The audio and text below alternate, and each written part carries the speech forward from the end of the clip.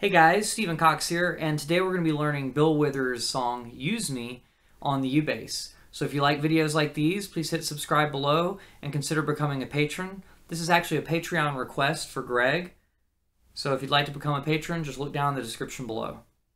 I want to give a special shout out to Greg Fairweather because I used his transcription of the Use Me bass line. So if you want to hear the full bass line with all the different variations on it, please check out his video. It's also down in the description below.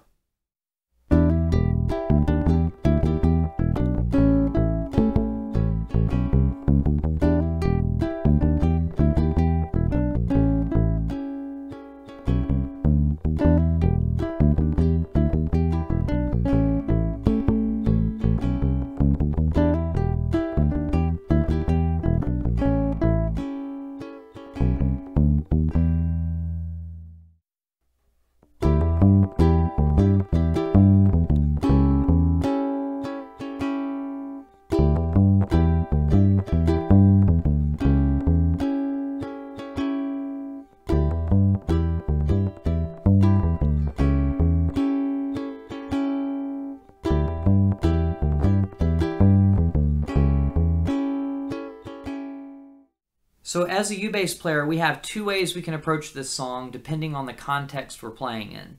If we're playing in a full band setting, I recommend playing the bass line because somebody is probably already playing the keyboard lick. That's probably the most famous part of the song. Basically, if you have someone in the band playing that, feel free to play the bass line. But if you're going to play with a whole bunch of ukulele players, for instance, if you're doing this in an ensemble, then I think the keyboard lick is more important than the bass line to represent so I would choose to do that one instead. So first, let's learn the bass line. So the bass line, as you can tell, is very syncopated and very interesting. It's very funky. So we're going to start off with the 7th fret on the A string, then play the open E string. Then we're going to do the 5th fret, 6th fret, and 7th fret on the A string. Then we're going to do those same three notes again, 5th, 6th, and 7th on the A string. Then we're going to play the open E string, then 7 and 6 on the E string. And let's talk about the rhythm on that. So here's how it sounds. And we're going to end up on the 5th fret on the E string. So that's what that last note was, even though I didn't mention that yet. First, we have two eighth notes, one and. That second eighth note is tied over to a 16th note, so we're not going to play beat 2 but we are going to play the E, the AND, and the uh when we play that 5, 6, 7 on the A string. So we got 1 E and uh, 2 E and uh, 3 E and uh, and the second time that we do that, we're still doing the same thing. We're leaving out beat 3 and playing the E, the AND, and the uh after that. So if you're not familiar with how to count 16th notes, um, you may have to watch another video to kind of get caught up. But the basic idea is 1 E and a 2 E and a 3 E and a 4 E and a where the numbers and the ands would also be where eighth notes would start. And then the extra 16th notes thrown in are represented by an E and an Uh. So I'm going to be counting one E and a two E and a, but if they're eighth notes, I'm only going to be playing on the numbers and the ands. And if they're 16th notes, you'll hear stuff being played on E's and Uhs as well. So here's the example. 1 E and uh, 2 E and uh, 3 E and uh, 4 E and uh, so that's the first measure. And the second measure sounds like this. Which is really cool. So the second measure, we're going to start on the 5th fret on the E string two times. Then we're going to play the 7th fret harmonic on the D string. So to play a harmonic, we're going to put our finger lightly over the actual piece of metal of the 7th fret now this is important. Don't push down. We are touching the string, but the string is floating above the fretboard, not touching a fret. It's just hovering above the fret. And then we'll play it right over the 7th fret, the actual piece of metal. And we'll play two seventh frets there. So pluck, pluck. So 5th fret on the E string twice. Then a little bit faster on the two seventh fret harmonics on the D string. Then we go back to the fifth fret on the E string, and then we'll play that note again, followed by the seventh fret and the eighth fret on the E string. Then we have a short pause, and then we've got fourth, fifth, and sixth frets all on the A string. So that whole measure sounds like one and two E and uh, three E and uh, four E and uh, kind of weird, very very syncopated, right? So on beat one, we have that fifth fret. Then we'll play the next eighth note after that, so the and after beat one. Then when we do the 16th notes, they're on beat two, followed by the 16th partial right after it, which would be E, 2E. Then we wait through the and. We don't play anything on that and right there. And then we'll play the fifth fret on the E string on the uh. So we got one and two E and uh. See how I skipped over the and and played the uh? I still set it so that you could hear it, but I didn't play it. So after that, we hold that note out from the uh of beat two past um, beat three. So we're just holding that through beat three. Then we play that note again, the fifth fret on the E string, followed by the seventh and the eighth fret on the E string, and those are all back to back. And then we pause, um, so we don't play on beat four, that's that syncopation, but then we do play on the E, the and, and the uh. And we do that fourth fret, fifth fret, and sixth fret on the A string. So here it is slowly with the counting. One and two E and uh, three E and uh, four E and uh. So let's play it together. One, two, three, four E and uh, one E and 3, E and 4, E and. so that's that part. So now let's put the first two measures together. 1 E and uh, 2 E and uh, 3 E and uh, 4 E and and 2 E and 3 E and 4 E and 1 E and 2 E and 3 E and 4 E and So it's kind of a cool groove. So that's the first half of it. The second half of it's very similar. Um, in fact, measure three is exactly the same as measure one. So we've got that whole all the same. So I'm not really going to go over that. That's just the same as the first 1, 2, 3, 4, 5, 6, 7, 8, 9, 10, 11 notes of the song, aka measure 1. After that, we get to measure 4, which is kind of like the response to it. And this time there's a lot more space in the response. So the second half will sound like this 2, 3, and uh, uh. Kind of weird to hear it out of context, but that's kind of what it'll sound like. So I'm going to count through and play both those measures together measures 3 and 4, so you get the idea. 3E and uh, 4E and uh, 1E and uh, 2E and uh, 3E and uh, 4E and uh, 1E and uh, 2E and uh, 3E and uh, 4E and uh, kind of weird. So in measure 4, we're going to play the 5th fret on the E string two times, 1 and, then we're going to wait for a little while. We don't play on beat 2, um, we don't even play on beat 3 or the E after beat 3. So we're silent for 2E and uh, 3E. We're not going to play there. Um, but when we get to the and after beat 3, we're going to be playing the 7th fret and the 8th fret on the E string. And then we're going to be playing the 5th fret and the 6th fret on the A string. But it's very syncopated. So after beat 3, we've got 3E and uh. So that seventh and eighth fret on the E string are going to be on the and and the uh after beat three. And then um, we hold that out through beat four. And then we'll play the fifth fret on the A string on the E after beat four. So E is uh, the timing, not not a note name. Okay. And then the sixth fret will happen on the uh. So I'm going to play it slowly just so you get the idea of how it sounds. 3E and uh, 4E and uh. So playing on the E's and the uhs, which is kind of a cool thing to do. It's very syncopated. It might be kind of tricky to follow at first, but it's very funky. So now that we've got that down, let's just play from the beginning to through measure four two times. And I'll do it with you slowly and then we'll do it at full speed. 3E and 4E and 1.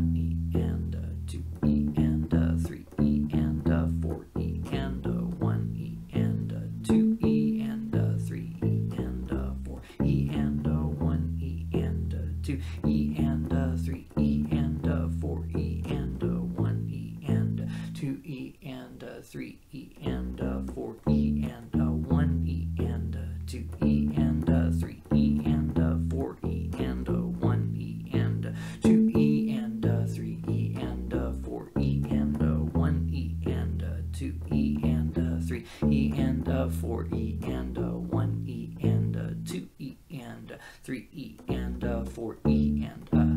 Now we'll play at full speed.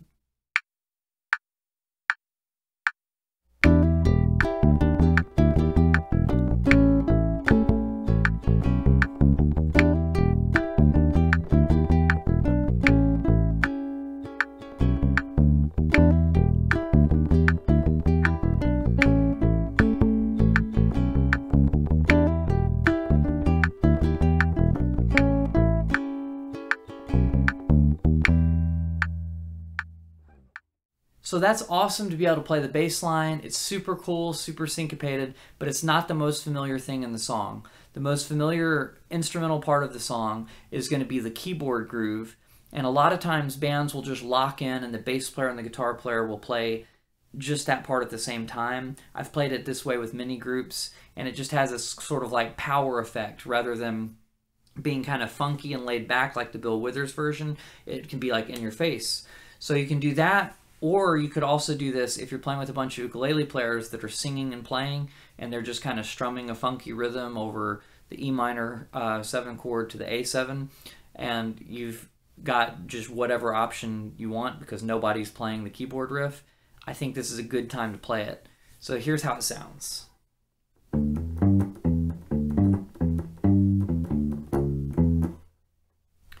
So I want to mention that there are a lot of variations of this riff within the song itself, and that you can pick different rhythmic variations that happen if you'd like to. So, um, one of the variations, instead of sounding like this, you might hear it more like this. And so that changes the last note of the riff, but it also um, adds space in a different place and makes it slightly less syncopated. Um, we're only going to go over the one groove, the way that it happens at the very intro of the song. But a lot of people will typically pick whatever their favorite one is from the song and just use that throughout the whole song or do a little variation between one and two of them. So for now, we'll just keep it simple. So what we're going to do first, we're going to play the fifth fret on the A string and hammer onto the seventh fret. Then we're going to play the fifth fret on the D string we're going to go back to the seventh fret on the A string, then the fifth fret on the A string, the fifth fret on the D string, then back to the seventh fret on the A string, then back to the fifth fret on the D string, then the seventh fret on the A string, followed by the fifth fret on the A string. And since there are only two notes in the next measure, I'll just go ahead and say them. We're going to go to the fourth fret on the A string, and then go back to the seventh fret on the A string. So the rhythm is a lot harder than the notes. But let's go ahead and try to play through that and just get an idea of how it sounds. So I'm going to count and play it so you can hear how it works with rhythm. 3 E and uh, 4 E and uh, 1 E and uh, 2 E and uh, 3 E and uh, 4 E and uh, 1 E and and then you just stay silent for the rest of the measure. 2E and uh, 3E and uh, 4E and sorry, I got impatient. Normally I would just count that out for you. But that's the riff. And then we just repeat that riff over and over again throughout the song, with the exception of one spot where um, everybody in the band cuts out for four measures. And it's kind of like the. So sometimes it starts with brother, if you only knew, you'd wish you were in my shoes. That whole part. Just four measures right there of silence, and then you come back in with the riff on the following measure. Let's talk through the rhythm, and then we'll play this together. So with this rhythm, it's very syncopated, it's very tricky. So first I'm just going to demonstrate it and then talk through it. So here's how it goes. 1 E and a, 2 E and a, 3 E and a, 4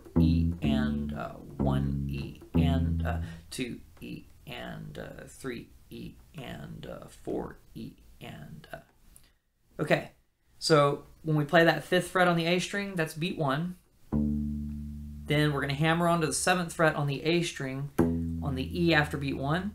Then we're going to hit the fifth fret on the D string on the AND after beat one, and we're going to hold it through for the rest of that beat. Then beat two, we're going to play the seventh fret on the A string. We're going to skip over the E, we're going to hold it through the E, then play the fifth fret on the A string, on the AND, and then the fifth fret on the D string, on the uh, and both of those are following beat two. We're going to hold that out through the downbeat of beat three. Then on the E after beat three, the timing E, we're going to play the seventh fret on the A string, and we're going to hold that out until we get to the uh after beat three, where we're going to play the fifth fret on the D string. We're going to hold that out through beat four, the beginning of beat four, and then on the E after beat four, the timing, we're going to play the seventh fret on the A string, and then for the and after beat four, we're going to play the fifth fret on the A string. And then we're going to hold that out for the rest of that measure. And then on beat one of the next measure, we'll play the fourth fret on the A string. And then we'll go to the seventh fret on the A string on the and of beat of measure two. The and of beat one of measure two. Blah, that's confusing. Um, so hopefully you followed me through that if that's really really confusing for you guys it may just be better to listen to how it sounds and just kind of work with that sound until you're fine tuned but some people like to learn from the timing so that's why we went through that route. So now let's play that one together. We'll play it slowly at first. We'll play it four times total and then we'll play it full speed. 3e and a 4e and a 1e and a 2e and a 3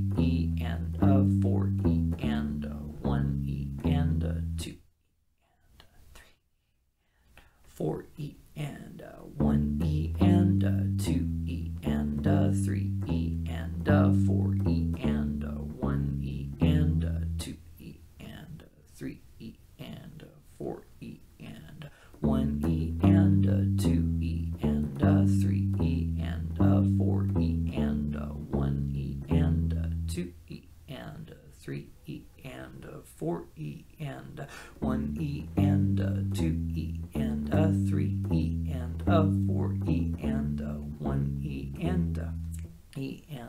3e and a 4e and a.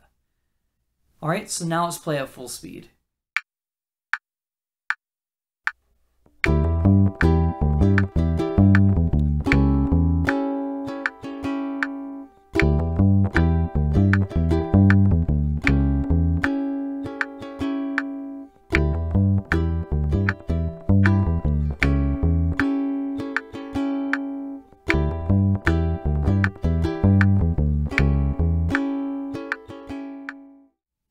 Alright guys, thank you so much again for watching. If you'd like the full bass line, Greg Fairweather has a great video on it, and I've got it linked down in the description below.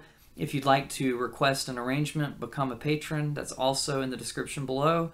And if you just like the video, feel free to hit the thumbs up or subscribe. And I will see you guys on Thursday for a live stream and next Tuesday for another video like this.